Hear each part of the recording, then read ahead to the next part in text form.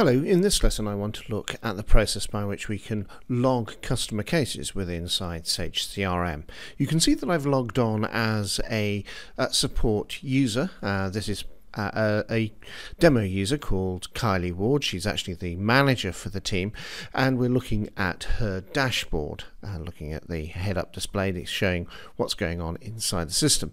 But here I'm going to go off, look at an existing customer within the side the system. So this is coming into the company Eurolandia, and we're going to log a case. So I'm going to click on the new and create uh, here a new case.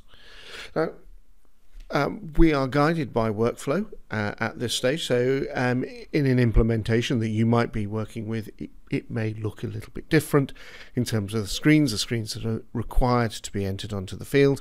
But um, basically, we would enter in here uh, perhaps different. Uh, uh different example uh, text that we might want to put in here um, and giving details of what, what's wrong with a particular case. So um, uh, I can't set the password. Uh, and then whatever the rest of the information is in here. I put in the details and um, I'm assigning it to myself because this is down to the to uh, really the the choices that uh, the uh, implementer of the the workflow would be making. So it's going to be a slightly different experience depending on what you, you want to choose. Now, I you'll notice there here I've not chosen to enter in service level agreement. So I'm going to come in and edit that in a moment. But um, this is one of the choices that we can make to affect the way in which uh, the the uh, information, the, the case, is going to be processed, and to have any escalation behavior associated with it. Uh, I'm going to change this and now put in a service level agreement. And what we'll find is that there is a rule associated with this that uh, if I've specified it as belonging to a particular service level agreement, um, then I must also specify a severity with that.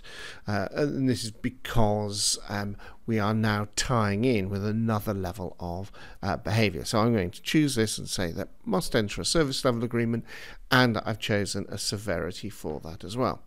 Now, this might be above and beyond anything that we might be listing in terms of my assessment or or, or the or the assessment uh, that the customer may have made. Um, indicating that this is high severity. So it's a slightly different uh, mechanism uh, to do with the way in which information is processed. This is, if you like, two separate uh, little processes going on here.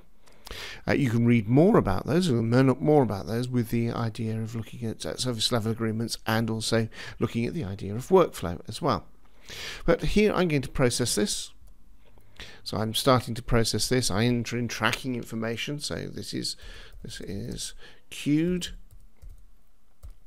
uh, for investigation. So this is, uh, and I could have reassigned it at this moment, but I'm leaving it still here for Kylie Ward. And anything, of course, that we're putting into this point into the tracking information is uh, is being entered and kept at this point as we go through. Now I can uh, now choose to uh, push the record through its uh, investigatory cycle. I can enter in information. So this is a additional data uh, that I'm entering in here. Uh, I can uh, choose to send emails to to the uh, to the contact.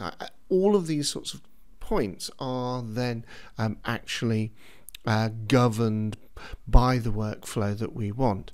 Everything being tracked in terms of any documents that we've added in, any merge uh, documents that we've added in, and any communications that we might have, all entered in here. So uh, here I can put this as a task and saying, so this is a test email message uh, with attachment maybe, uh, attachment and description.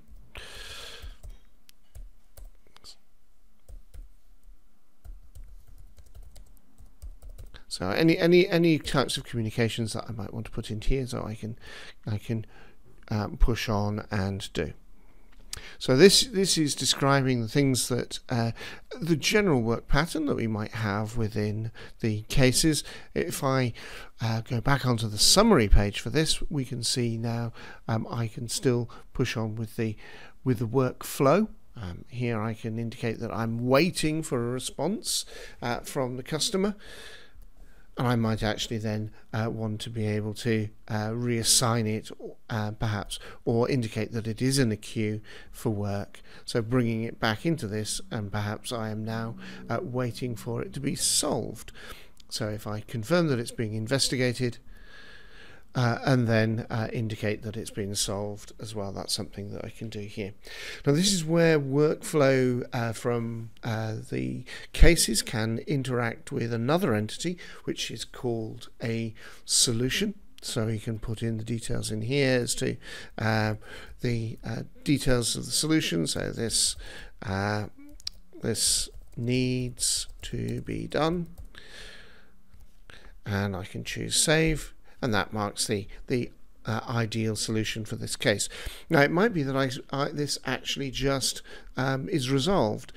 Uh, but it might also be that I want to be able to uh, consider that this is associated with a solution and therefore I can create a new solution uh, linked to this case. And so you can see that I can bring across information uh, that I want. It could actually merge information through. I haven't done that at this stage but this is a test uh, solution. So I can uh, enter in details in here. And I can choose save and I've created for myself a uh, solution. And the important thing is that this solution is now linked to that particular case as well. Uh, and solutions can be linked to multiple cases. Have a look at uh, some of the training videos that uh, are associated with solutions and workflows, and you'll be able to see how you can match the, the two together. Okay, that's uh, essentially logging the case.